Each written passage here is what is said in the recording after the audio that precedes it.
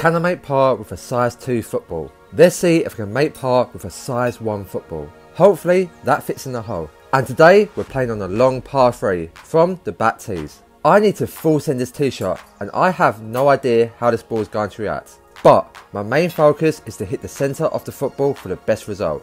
And look at this. Somehow I hit a baby draw on the perfect line. Some would say that is better than my normal goal shot. I am actually surprised with how well that went. My second shot, and I went for the famous 8 iron bump and run. I wanted to keep the ball low and on the floor and let it roll to the green.